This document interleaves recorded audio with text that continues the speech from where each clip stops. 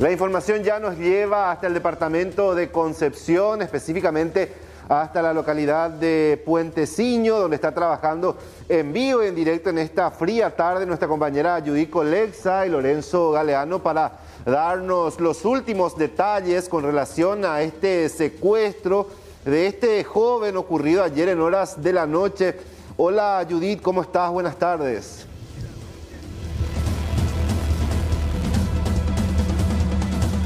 Llegamos aquí de la zona específicamente aquí en la colonia norte Puajú, hasta este establecimiento ganadero. En la colonia norte Puajú, hasta este establecimiento ganadero, de donde ayer, en horas de la noche, cerca de las 20 aproximadamente, este joven de 24 años era llevado por cuatro a cinco hombres aproximadamente fuertemente armados, según las descripciones que dieron las personas que estaban en ese momento y que vieron lo ocurrido, estaban vestidos con ropas camufladas, tenían botas de lluvia, eh, armas de fuego, reitero, eso también, brazaletes de color azul, que son característicos de este grupo autodenominado ACA, entre otros detalles que ya estábamos repasando con la teleaudiencia desde muy temprano sobre este nuevo caso de secuestro que tiene como víctima a Jorge Manuel Ríos, de 24 años, reitero eso, él es oriundo de Ciudad del Este, pero hace un mes aproximadamente vino a pasar algunos días aquí en la casa, o sería el establecimiento ganadero de su padre, de donde se produjo su secuestro. Estamos acá en compañía del teniente coronel Luis Apesteguía, el vocero de la Fuerza Tarea Conjunta,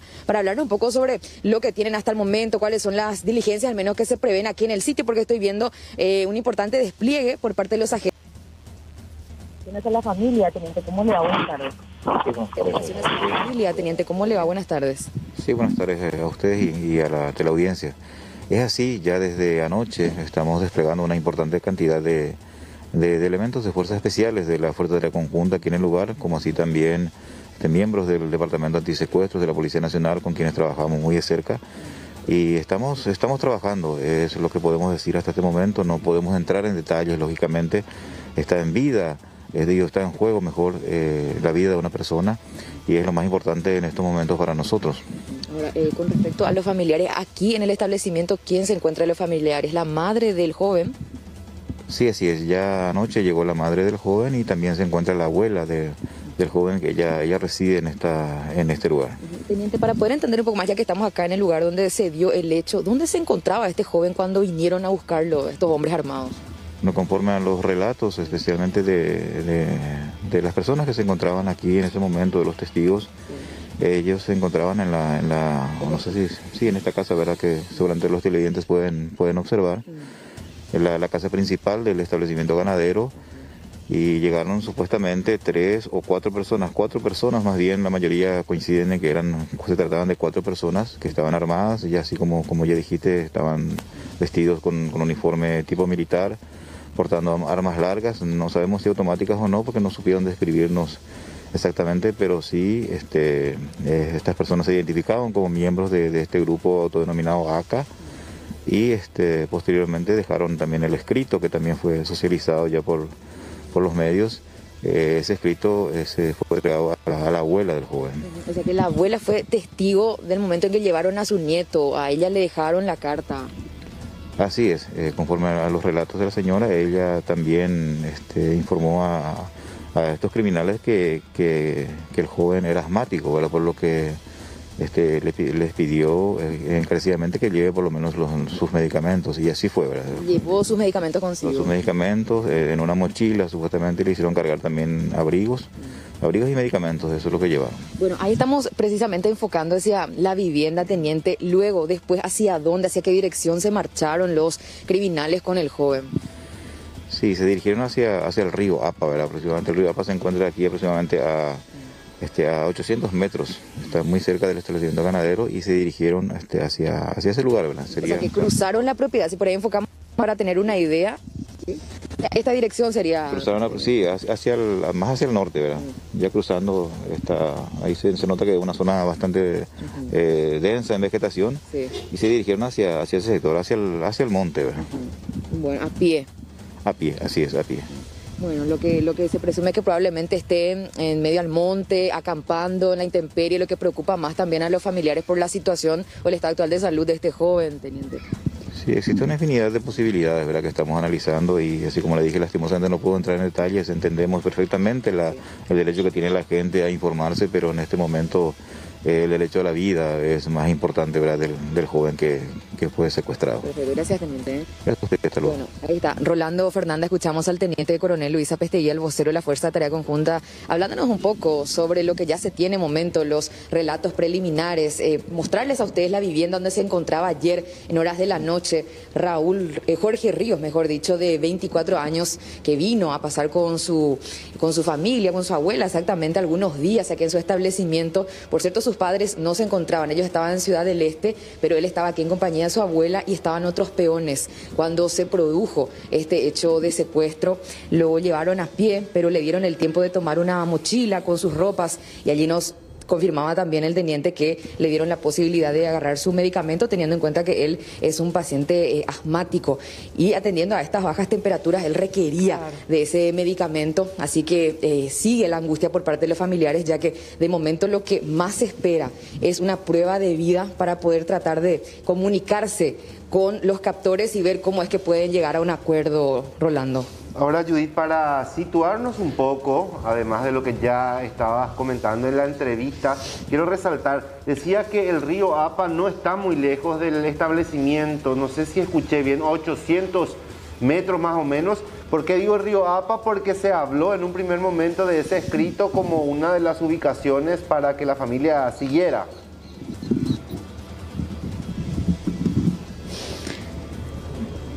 Exacto, eso nos decía el teniente, que está a unos 800 metros aproximadamente aquí del establecimiento, el río APA, que ellos utilizaron como una referencia dentro del escrito dejado a la abuela para eh, realizarse, en este caso, efectuarse el supuesto pago. Esas descripciones ya se daban, o sea, ya se difundían a tempranas horas, por cierto, y es muy cerca aquel establecimiento, el río. Enseguida vamos a compartir con ustedes nuestra ubicación para que puedan tener también en cuenta qué tan lejos estamos y qué tan cerca está el río APA de este establecimiento. Sobre eso, Judith, el ingreso hasta el lugar en donde ustedes están ahora mismo, ¿se dificulta?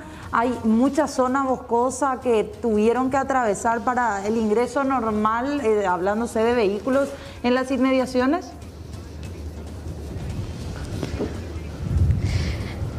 Sí, nosotros estamos aproximadamente unos 19 kilómetros del casco urbano de la zona de Puenteciño, la ciudad que sería el distrito de Sargento José Félix López. Vamos a tratar de hacer un paneo con Lorenzo porque tenemos señal fluctuante acá en el sitio. En algunos puntos nos vamos y perdemos la señal, pero desde acá vamos a mostrarles la calle que es completamente de tierra, ingresando camino al establecimiento, que reitero está a unos 19 kilómetros del casco urbano del distrito. Ahora, Judith, ¿esto es una zona de establecimientos, eh, una zona no tan poblada o es una zona eh, de establecimientos ganaderos así como esta de dos hermanos? Mira, Rolando, este establecimiento de la familia del joven secuestrado está un poco más alejado, pero yendo camino a la ciudad de Puenteciño, lo vamos a decir así, ya que popularmente se lo conoce de esa manera, eh, se pueden encontrar escuelas, varias viviendas, despensas, hospedajes. Hay una zona muy poblada acá cerca, pero sí para llegar hasta el establecimiento hay que eh, hacer un largo trayecto, un camino de tierra. Eh, que está rodeado por una extensa vegetación, que es lo que se puede notar aquí desde, desde el lugar, un establecimiento bastante grande, amplio, donde se dedican exclusivamente a la ganadería, ya según lo que nos confirmaron los intervinientes, así como también los propios familiares. Ahora, Judith, eh, también creo que en la entrevista explicaba, o vos explicabas, de que de acuerdo a lo que manifestaban las personas que estaban en la casa, ellos fueron hacia esa zona boscosa, más o menos hacia el río, que da detrás de la casa. Sí, ellos cruzaron el establecimiento, o sea que, a ver, si me acompañas, Lorenzo, vamos a mostrar, haciendo un plano un poco más abierto para que se pueda notar. Acá está la casa, muy cerca del portón principal que da hacia la calle. Bueno, aquí estaba anoche Jorge. Según lo que nos mencionaron, él se está preparando para ver el partido de Paraguay. Cuando fueron sorprendidos por estos hombres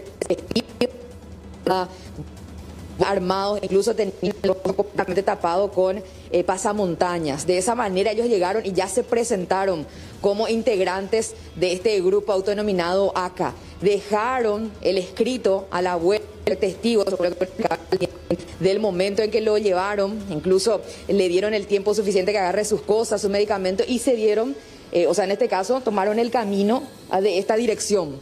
Vamos a ponerle acá, pasando este portón grande y hacia el fondo siguieron su trayecto a pie. Y según lo que nos decía el teniente, está aquí cerca, a unos 800 aproximadamente, 800 metros, el río Apa. Ahora, Judith, de lo que observaron también allí, eh, dentro de la estancia hay un importante despliegue de las fuerzas de tarea conjunta.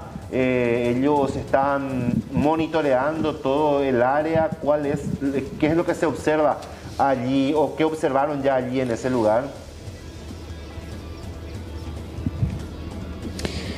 Bueno, lo que están haciendo de momento es una, eh, un trabajo de custodia para la familia, de apoyo, protección, por supuesto, atendiendo la situación ante cualquier novedad. Ellos están desplegando un importante equipo, un grupo aquí de la FTC en el propio establecimiento. Ahí vamos a mostrarles a ustedes dónde se están reuniendo.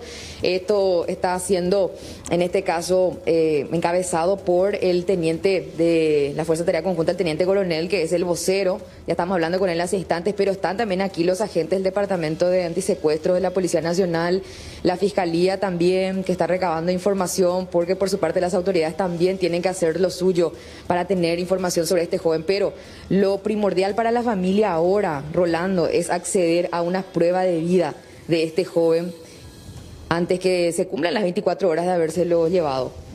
Y ya decía también Judith, hoy el vocero de la familia en Ciudad del Este, que como se viralizó ese escrito, ya lo dan por descartado prácticamente seguir esas coordenadas y a lo que vos decías, lo que buscan es una prueba de vida y un canal de comunicación para que las negociaciones a partir de ahora puedan empezar a marchar buscando cerrar esa negociación para la liberación de este joven. Claro, Rolando, y a medida que pasan las horas, la incertidumbre aumenta, atendiendo a ese punto que figuraba en este escrito al que ya le dabas lectura también más temprano, principalmente en la última parte donde habla de una eh, fecha en que la que expira el pedido de rescate de este joven, que sería mañana a las 17 horas. Entonces, a medida que avanzan las horas y no tienen información, aumenta la angustia y la incertidumbre por parte de la familia, quienes por lo menos esperan una prueba de vida para poder entablar una comunicación por la vía que se requiera y ver si es que de esa manera se puede llegar a un acuerdo para poder, por supuesto, regresar al joven al seno familiar. Judy, para cerrar nada más, ¿qué tal el frío allí en la zona? Me imaginamos que la temperatura mm, se siente mucho más fresco que, que acá por Asunción al menos. Bueno, acá el problema es el viento, Rolando. Por ahí si no hay viento uno puede aguantar tranquilamente, pero a estas horas empieza a bajar la temperatura. Hay un vientito ahí, se puede notar. Sí. Voy a mostrarle, Lorenzo, usted con la intensidad que corre el viento aquí en este punto y más aún porque estamos rodeados de una extensa vegetación, todo es abierto y enseguida seguramente vamos a tener también un poco de sereno, así que caiga la noche. Excelente, Judith. Buen trabajo, buena estadía también, tanto para vos como para Lorenzo. Estamos expectante del trabajo que están realizando allí, pendiente de cualquier novedad para volver contigo en cualquier momento. Excelente trabajo. Sí. Gracias, Rolando. Y por último, agradecer a la familia que nos está permitiendo poder estar aquí compartiendo con ellos eh, el establecimiento para poder informar. Si bien ellos prefieren no hablar con nosotros, eh, se mantienen en el interior de la casa, precisamente la madre que está acá va recibiendo la visita de vecinos con quienes están haciendo una cadena de oración porque están recurriendo también, por supuesto, a la fe para que puedan tener noticias de Jorge de quien hasta el momento no se tiene mayores datos lastimosamente, pero seguimos nosotros acá firmes para informarles en lo que se pueda con respecto a cómo avanza este caso. Gracias, gracias Judith. Gracias Judith, buena estadía por allí también pendientes de esto, sin lugar a dudas la oración también es una fortaleza en momentos de incertidumbre donde no se tiene mayormente nada, son las horas más críticas cuando se dan este tipo de hechos. Nosotros vamos a seguir trabajando allí en vivo, en directo con Judith y Lorenzo desde la zona de Puente